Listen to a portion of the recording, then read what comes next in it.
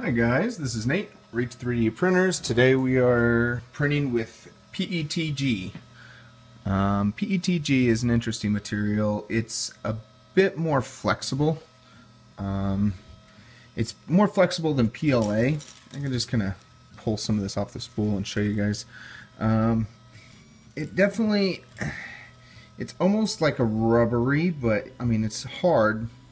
It has a glass-like look to it, really glossy.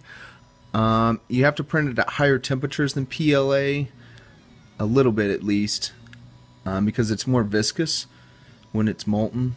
Um, so higher temperatures allow it to extrude easier. You also need to prevent warping using a heated bed. Um, it definitely seems to help. Uh, one of the biggest challenges with this material is getting it to stick. So, um, one thing that I have found is that let me get this spool back on. Yeah. Um, one thing I've noticed is that like printing on glass, you get much better adhesion. I think we discussed that in the forum about um, certain materials doing better. This is not going on this spool so easily. Avoid uh, getting things, getting the spool to. okay, back on the spool. Um, so one thing uh, was a glass bed is really helpful to get things to stick, and and I try to go old school with the blue tape as often as possible. Um, certain things that just don't like to stick, you have to rough them up with sandpaper and then alcohol all the particles off and that way you get a little more grit to grab onto.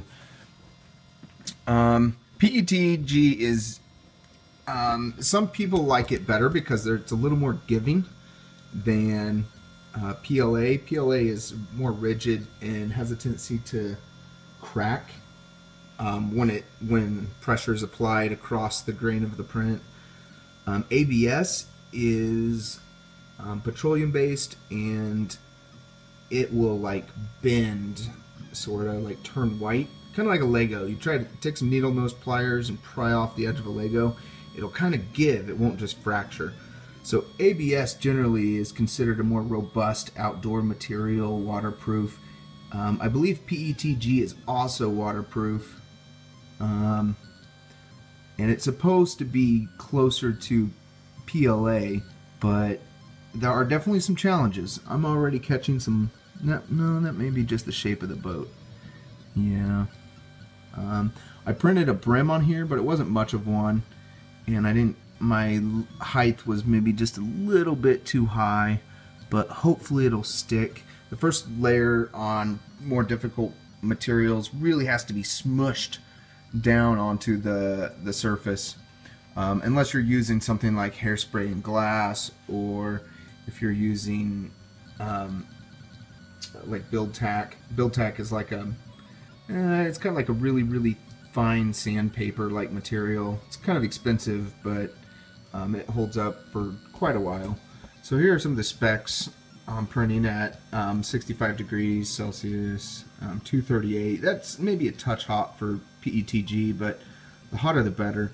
I'm only running at 30% at least to start off with. I'll increase the speed as we go. Just wanted to make sure I had the first couple layers had really good adhesion.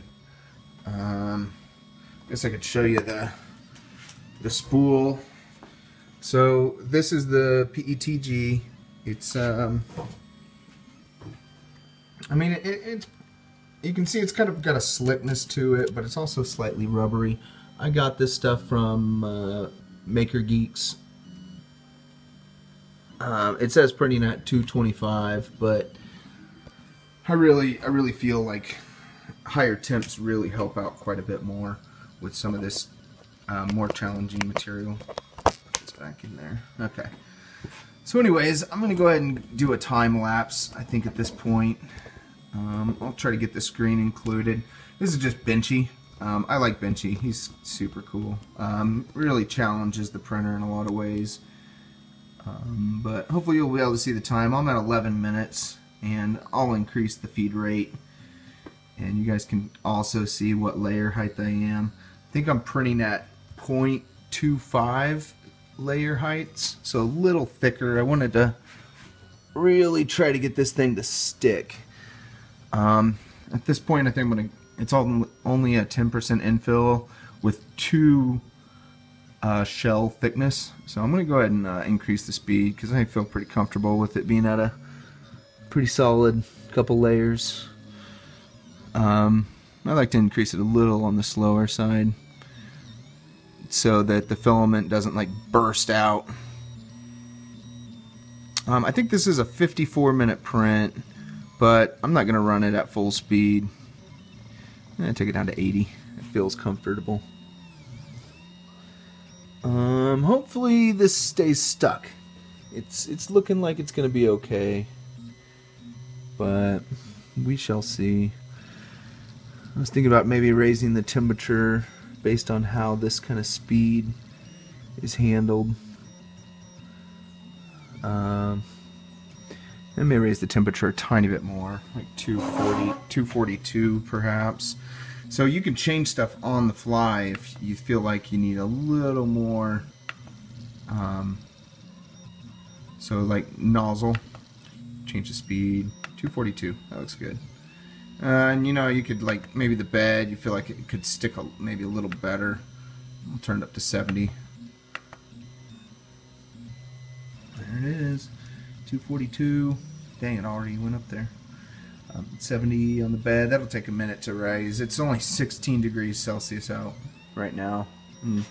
So it's a bit on the chilly side. And you know, when you're printing something that takes high temperatures, the colder the ambient temperature is, the more challenging the print as well. So this is a pretty good challenge. I would I would recommend printing at room temperature, you know, 70 Fahrenheit or what is that, 23, 25 degrees Celsius. So it's uh maybe I don't know. My centigrade Fahrenheit isn't quite not super knowledgeable with with uh, some of those conversions. Um, yeah, 1.8 plus 32. Anyways, uh, I, I I think we'll get okay results um, as long as that corner doesn't pop off. It looks like this corner is, or this front nose of the boat's gonna hold pretty well. Um, I'm gonna move the camera a little bit over here. Maybe you guys can see the corner that I'm talking about. So this is the biggest trick with printing ABS and, and uh, PETG. See how that's trying to lift there? Like this side looks great. But this side's gonna lift. It's already starting to. Yep. Well, we'll see how it does. It could cause a, uh, a compression in the back of the boat, but we might be okay. Um, oh, get the screen in there so you guys can see the progress, speeds, all that. All right, well, I uh, I'm gonna go ahead and start the time lapse and uh, see you guys in a minute.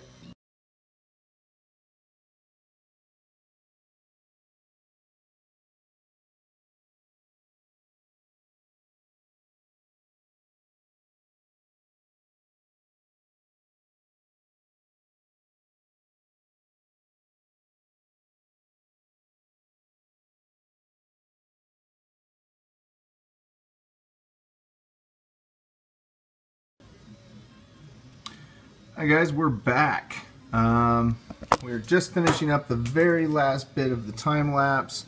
We're an hour and eight minutes in. Let's get this to focus. There we go. Well, as you can see, I'm going to show you the bottom of this print. Um, if you're noticing right down there, it's lifting off the back surface. And uh, I got lucky um, because two-thirds of it stuck up front. So so that was pretty fortunate. Um, wanted to go in a little bit about PETG. I was just doing some research and um, PED, PETG is kind of like acrylic but um, a, a, lot more forgiving as far as um, the strength of it, like shatter resistance. Um, it's a it's a pretty good material.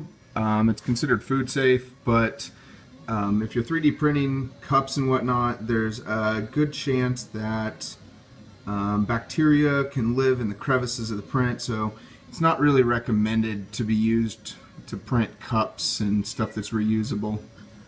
Um, well, there's another element um, I wanted to cover regarding the temperature of what you're printing.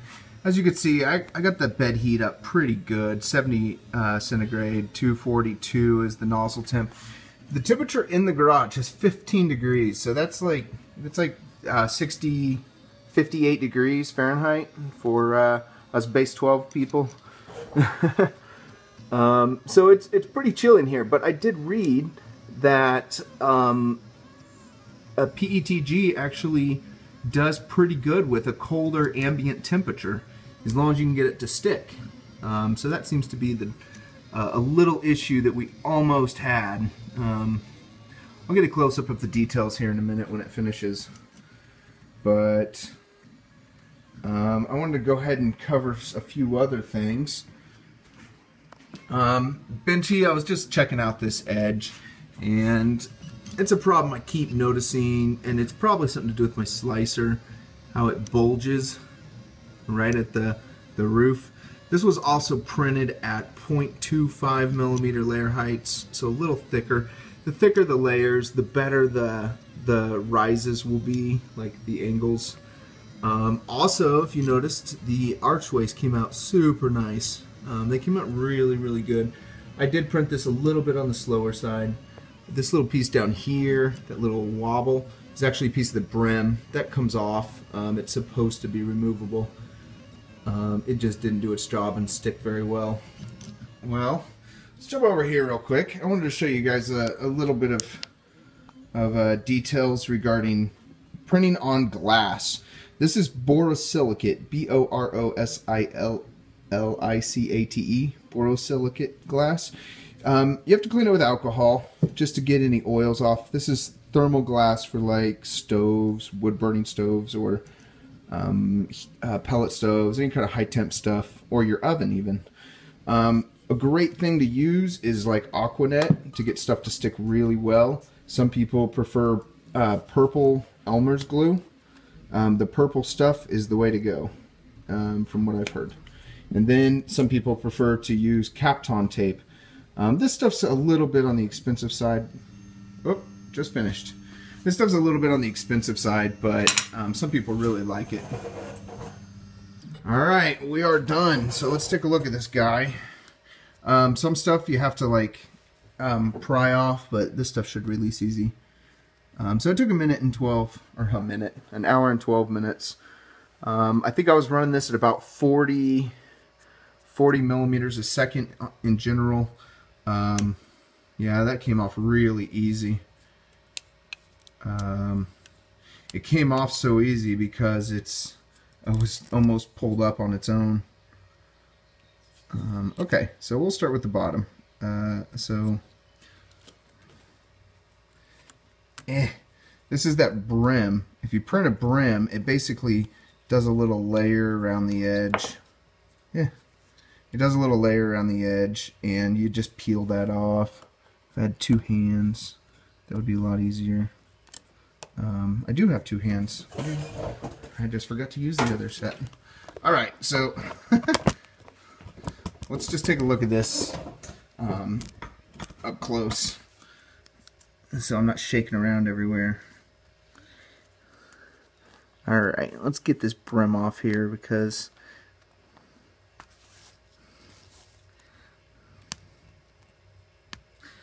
um, well that brim should just peel right off.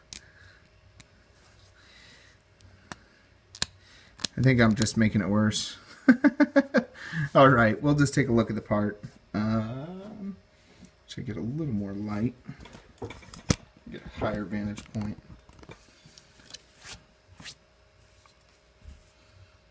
Okay, so here is the print.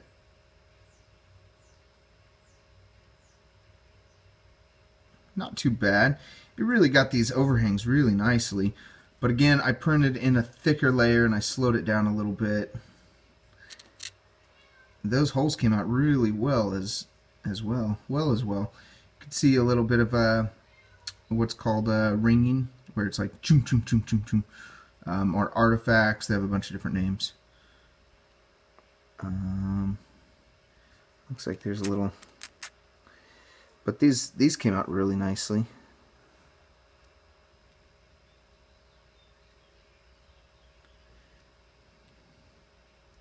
Not too bad. Um, these reflections are just going to show everything. Like every little detail is going to show up with these reflections. I wish my camera would stop refocusing. I noticed there was a string in here. Um, I was doing some research and I'd read that stringing is a problem with PETG. I I got that little piece off there. But honestly, man, this camera's focusing issue. It's, I think it's the app. Crazy focus, refocus, refocus, refocus. Holy crap, guys. I am sorry. This app is sucks. I want to show you up close if the stupid thing would quit being a refocusing fanatic. Um, there's also Benchy on the back here. Um, it's so small it just didn't really produce much as far as that name is concerned.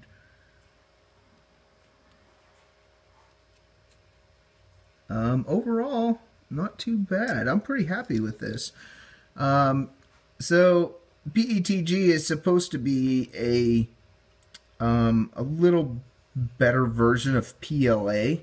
It's uh, supposed to be water resistant and all that. Um, but honestly, it's a lot more difficult to print, in my opinion, than PLA. So I would almost put it into a a no-go category. Uh, it's more expensive, and it just doesn't provide a whole lot of benefit in a lot of ways. Um, I mean, it's a nice print though.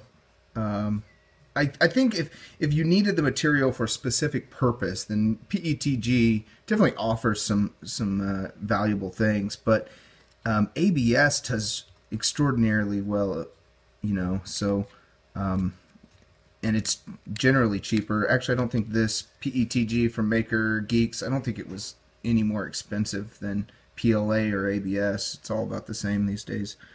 Um, anyways, uh, that's basically the video. Um, next, I'm going to do a short video about different um, materials. Like, how can you tell if you've got ABS or if you've got PLA? What are nylon? You know, what are the differences? So we will cover that in a few minutes. All right, thanks, guys.